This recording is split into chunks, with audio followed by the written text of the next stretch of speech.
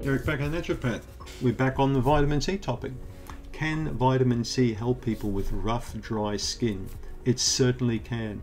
Vitamin C is one of the most important of the water soluble nutrients you can take in to support skin health. If you look at a lot of the most expensive skin repair creams, they contain vitamin C. I remember when I worked with an appearance medicine doctor um, a few years ago, really nice guy.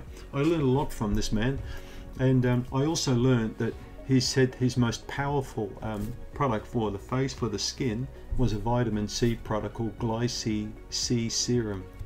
I think it was called. It was very expensive, hundreds and hundreds of dollars for a tiny little bottle like that of this cream that you put on, on the skin.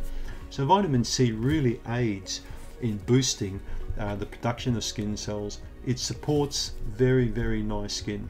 So you can see it in people who eat lots and lots of vitamin C rich foods tend to have less sagging, less wrinkling, softer skin, a more youthful appearance. I mean, I don't look bad for 95, do I? No, I'm actually 60. But I do take in a lot of vitamin C, and people often comment on how nice and soft my skin looks for uh, an, old, an old guy my age.